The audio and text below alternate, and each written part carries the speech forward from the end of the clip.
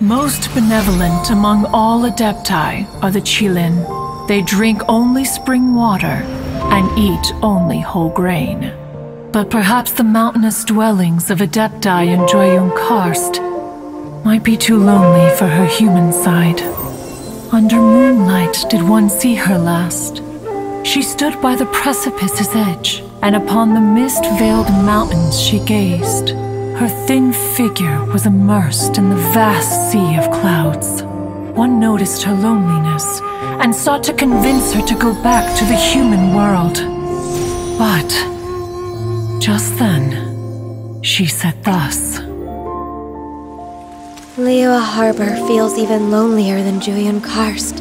When I look at the sea of clouds in Jueyun Karst, I merely feel the loneliness of a solitary cloud gazer.